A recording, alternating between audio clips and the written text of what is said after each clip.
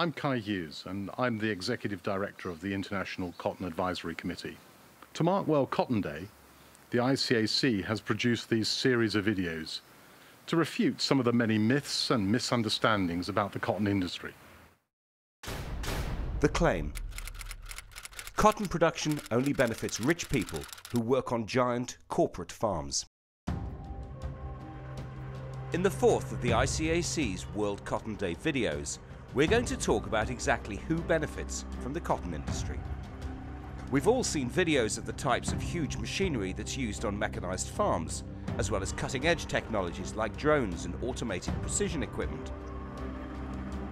Large growers like those found in countries like the USA, Brazil and Australia do indeed earn a good living from their sophisticated cotton operations. But in many parts of the world, cotton is the only way that small farmers in the least developed countries can survive. The truth. Cotton is critical to the survival of millions of vulnerable families all over the world. As mentioned in previous videos, cotton is a plant that thrives in dry, arid environments where most crops won't grow. And for smallholders who live in those areas, cotton quite literally keeps them and their families alive. And that's the reason that cotton is one of the world's most important poverty alleviating crops. According to the head of the ICAC's Technical Information Section, Dr. Keshav Kranthi, there are 100 million or more people who derive virtually all of their income from cotton cultivation. With few other options, these people rely on cotton to put food on their table and clothes on their backs. But there are even more people around the world who depend on cotton to provide at least some of their income, around 150 million of them in fact.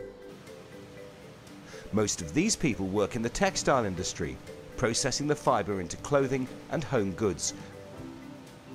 All told, that means there are around 250 million people around the world who depend on cotton for some, if not all, of their income. Cotton is the reason that the ICAC was created back in 1939. But over the last 80 years, all the work we've done and continue to do is about people and how cotton can help to improve their lives. Cotton is more than just a plant. It's a lifeline for hundreds of millions of the most vulnerable people in the world.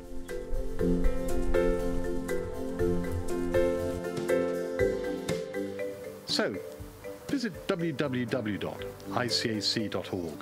and click on the Global Cotton Promotions button to see more truths about cotton. Thanks for watching.